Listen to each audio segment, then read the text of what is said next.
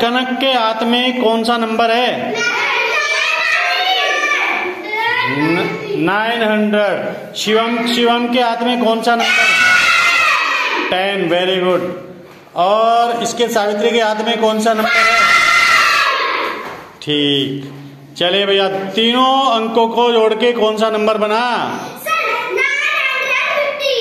Nine hundred fifteen very good clapping करे